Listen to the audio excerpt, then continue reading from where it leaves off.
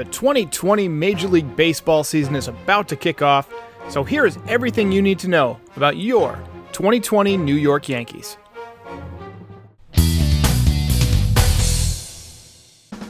The buzz around Yankees camp this spring has mostly been about the Houston Astros and the implications of their cheating scandal. You know, disappointing, uh, frustrating. It's just sick to my stomach, you know, just to find out, you know, you got a lot, I got had a lot of respect, you know, for those guys and, you know, what they did and, you know, especially, you know, what they did for the city of Houston and that whole organization, man, a team that was in last place and drafted right, got the right players in there, and you know, eventually, you know, got to the World Series. You know, I had a lot of respect for them. You know, the way they played, what they did, and then to find out that, you know, it was, it wasn't earned. It was they cheated. But the past is the past. You can't go back and change it. The Yankees need to turn the page if they want to capture their 28th World Series title.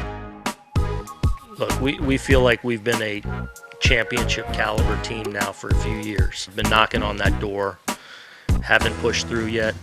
So, in case you've been in a coma all winter, here's a look at who we've got coming back to start the 2020 season. This is one of the Yankees' strongest teams in years. At catcher Gary Sanchez, who is entering his age 27 season. Gary has had a tough time staying on the field, but when he has been in there, he's mashed. He's slimmed down a bit this year, and has worked on a new catching stance that is supposed to help him block balls in the dirt a bit more, but also take some pressure off of his legs and keep him on the field.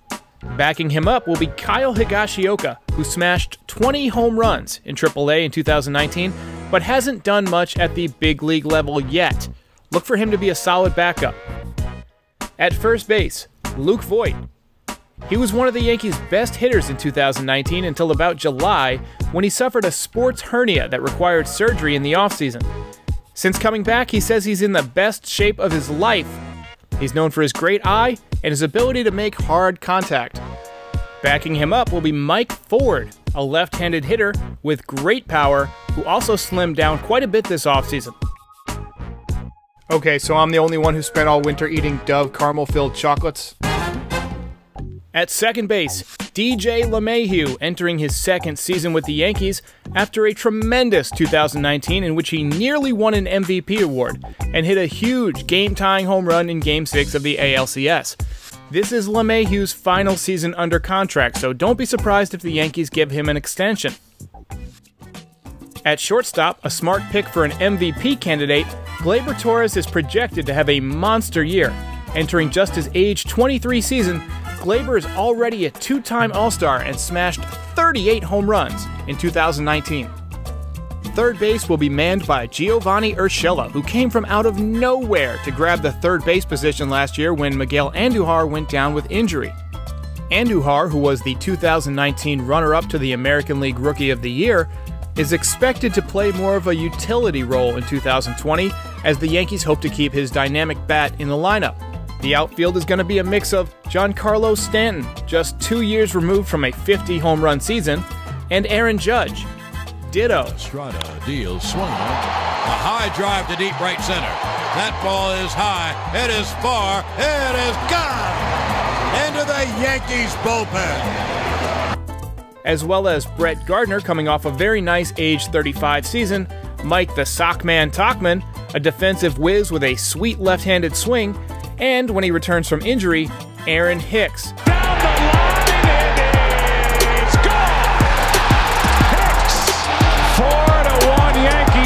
Clint Frazier could also factor into the mix as well.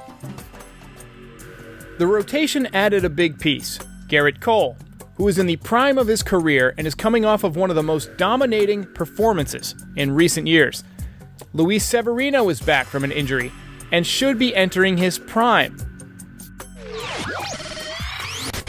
James Paxton is out till June with spinal surgery, and it's hard to be certain what to expect from him when he comes back. I think the Yankees are going to take their time with him and try and keep him healthy down the stretch. Masahiro Tanaka enters the final season of his seven year pact with the Yankees and is pitching for a big payday and for his Yankees legacy. Jay Happ will take the ball in the spring training opener and likely be the number four man in the rotation.